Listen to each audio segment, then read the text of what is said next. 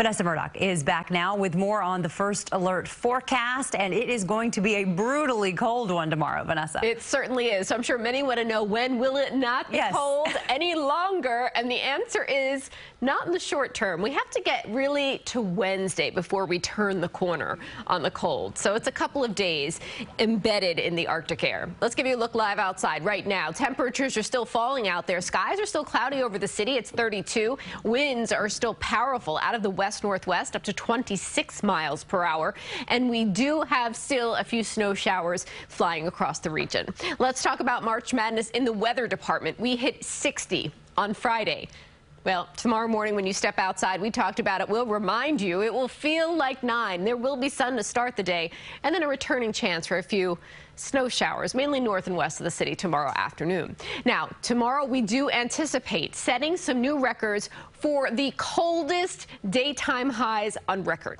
Where might that happen? It is looking likely for LaGuardia as well as JFK, Islip, and Bridgeport. High temperatures in the mid 30s would be just a couple of degrees colder than, yeah, the records that are already in existence. So we are looking at some very cold temperatures, but it won't feel 35. It will feel more like the teens and low 20s for us by afternoon.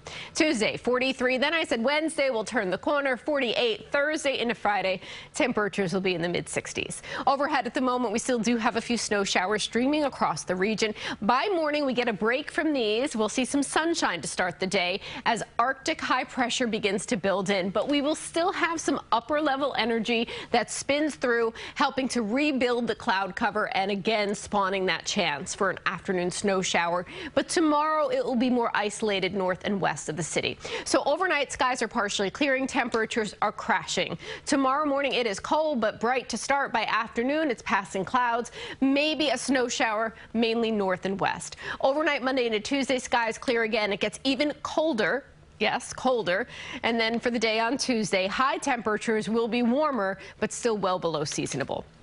For tomorrow, it's 35 degrees your high again. Bright to start, some more clouds by afternoon. Windy, winds gusting up to 30. So that 35 degree high feels more like 15 to 20 for most of us. As we look at those wind chills through the day tomorrow, it is going to be frigid still. I want to advance to Tuesday morning to show you it is equally cold Tuesday morning. Overnight lows will be even a little bit lower than they will be to start things off. So let's go ahead and show you when we really heat things up. It's Thursday into Friday, but Tuesday it's sunny, breezy, 43 by afternoon, Wednesday 48, and then a little soggy as we warm into the mid 60s. That's all right. We'll take the rain as long as it's not 20 degrees. I know. Right? It is going to be brutal. Yeah, all right. Thank you, mm -hmm. Vanessa.